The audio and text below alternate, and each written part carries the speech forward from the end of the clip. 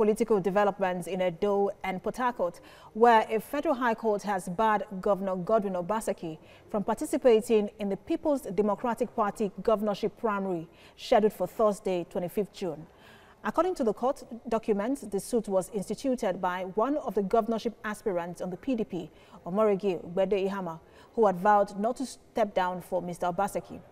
Mr. Ogbeide-Ihama prayed the court to stop Mr. Obaseki from participating in the primary on several grounds. A major reason by him was that Mr. Obaseki recently joined the party and that only those who purchased the forms during the stipulated window before the waiver granted Obaseki and his deputy, Philip Shaibu, who recently defected from the All Progressives Congress, should be allowed to partake in the primaries. The PDP primaries is slated for the 25th of June, having been postponed twice.